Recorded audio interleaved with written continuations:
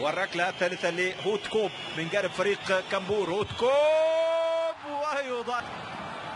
بينما لدينا القائد الآن ينسن يضيع ينسن اثنين من ثلاث ركلات لكامبور وهذه فرصة الآن لهوفدراد يوسف الخمسه لأوتريخت في المرمى. ليونارد نينويس ويسجل. هل تكون ركلة السعادة لفريق كامبور؟ بيسدد خ... لفريق أوتريخت عن طريق اللاعب البديل هارديفيل هارديفيل يسجل وينسن بيرسمان. سفيان مرابط سفيان مرابط يسجل. هجم كامبور مارتن بارتو والحارس ينسن وهي يحيى جيوفاني تروبي. جيوفاني صاحب هدف التعديل. جيوفاني يصعد فريق أوتريخت.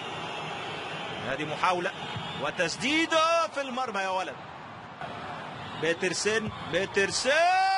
يسدد خارج الأصول الإفريقية. جميرو مونتيرو جميرو مونتيرو جول.